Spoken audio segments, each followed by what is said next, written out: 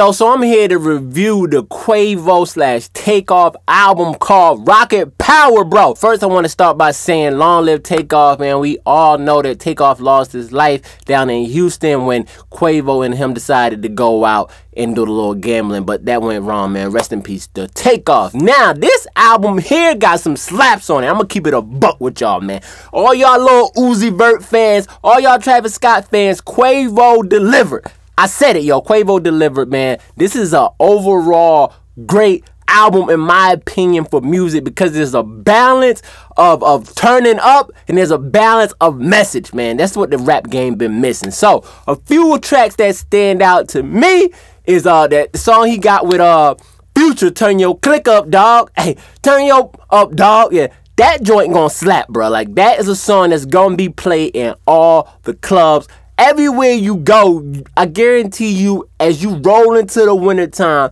that song will be going crazy. And that song will be hitting the Billboard charts. That is a Quavo hit. Like, that's a hit for Quavo, man. Let's just keep it all the way above. That song is fire. Uh, Future went in on that joint too, bro. Like he even threw he threw shots at uh he threw shots at Russell Wilson, who is Ciara's um husband. You know what I'm saying? You know, Future and Sierra got a little history. They got a they share a child together.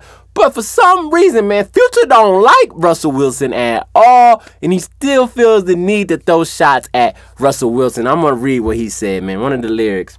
He said, Big dog status Bal Harbour. I ball in his mouth for my brothers. Go yard bag toe the cutter.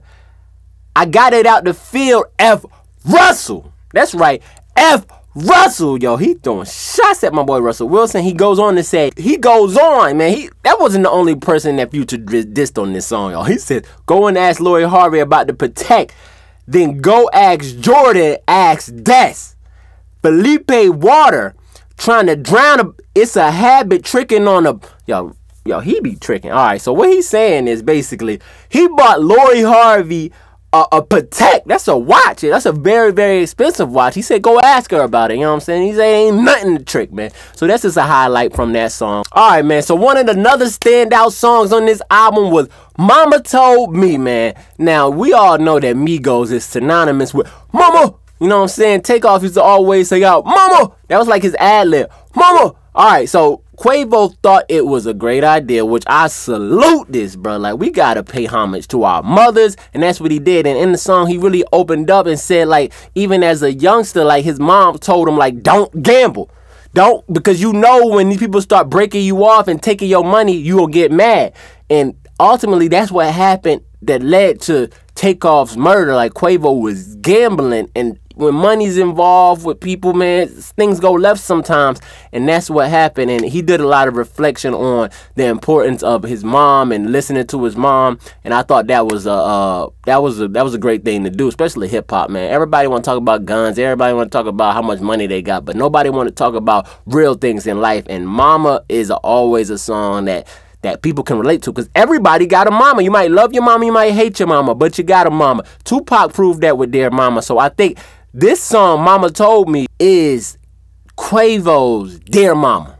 That's how that's how I say it, man. Like it's Quavo's Dear Mama. It's a great song. To me, the best song on this album here, Rocket Power, is the song that Quavo got all by himself. He got a song that is called Where Can I Start? To me, that song gonna go crazy. That is the song that's gonna go on TikTok.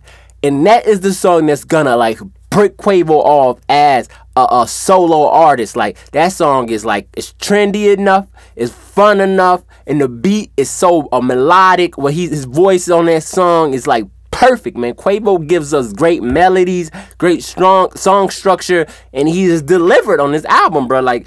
Bro, I can't complain about this. This song, the album is 18 songs, but he gave at least four or five like songs that could be hits. Like that's what I think, man. A lot of artists deliver a whole bunch of mid. They got maybe got one single. Quavo got at least four to five songs that I believe will chart on the Billboard Hot 100, bro. Like, come on, man. Like, he got a song with Young Thug on here. I really didn't care for that one too much.